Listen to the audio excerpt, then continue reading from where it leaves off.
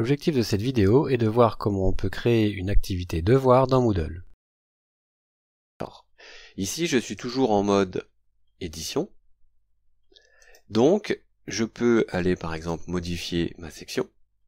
Et je peux aussi en dessous ajouter une activité ou une ressource. Alors vous allez voir que les possibilités sont variées. Ça peut être un chat, si vous voulez donner rendez-vous en ligne à vos étudiants à une heure donnée. Ça peut être du contenu interactif H5P. Ça peut être un devoir, ça veut dire qu'ils vont euh, déposer un fichier pour vous sur la plateforme. Alors comment ça marche? Je clique sur devoir, je fais ajouter. Je donne un nom à mon devoir.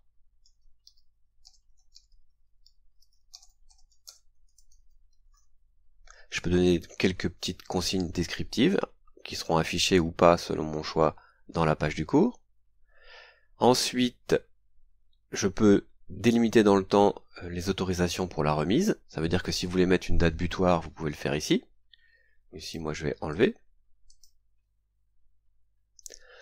Ensuite, je peux déterminer quel type de remise je veux. Ça peut être un texte en ligne, ça veut dire qu'ils auront une boîte à remplir euh, avec du texte, ou alors une remise de fichiers. Et si c'est une remise de fichiers, je peux déterminer combien de fichiers je veux que l'étudiant ou l'élève me rende.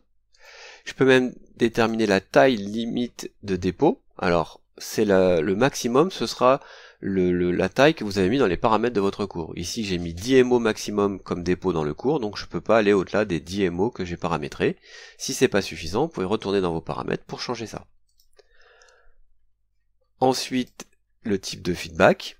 Alors, euh, si euh, vous laissez annotation PDF, ça n'a de sens que si l'élève vous rend le devoir en PDF. Vous pourrez écrire sur le PDF et lui verra vos commentaires. Si c'est un fichier traitement de texte, un fichier tableur, quoi, quels que soient les autres formats, ça sert à rien de laisser annotation PDF. Ici, je rentrerai pas dans les détails, mais on peut aussi, dans la note, bon là par exemple je vais dire que c'est une note sur 20, on peut changer le mode d'évaluation et passer sur une grille. Donc ça veut dire qu'après il faudra bien sûr paramétrer cette grille d'évaluation. Et à ce moment-là, on remplit la grille en ligne sur Moodle. Réglage courant. Alors si vous aviez plusieurs classes dans le même euh, cours, vous pourriez euh, ramasser les devoirs par groupe, c'est-à-dire euh, en, faisant groupe séparé, vous aurez d'un côté la classe de vente animalerie par exemple, et de l'autre côté la classe de vente en jardinerie. Vous pourrez gérer ces devoirs de façon indépendante l'une de l'autre.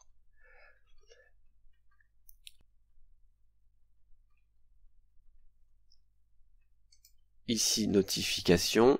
Alors, notifier par défaut les étudiants, moi je mets non, parce que quand une fois que j'ai fini de corriger un devoir, si je me rends compte qu'il faut que j'harmonise un peu, euh, j'ai pas envie que l'élève ait déjà reçu un premier mail avec une première note. Hein. Donc euh, ils auront leur note quand je leur dirai d'aller les voir euh, au cours suivant. Donc là je préfère mettre non. Voilà. Là je fais enregistrer et revenir au cours. Donc maintenant, si je prends le rôle de l'élève pour voir ce que ça lui ça fera pour lui, le rôle de stagiaire,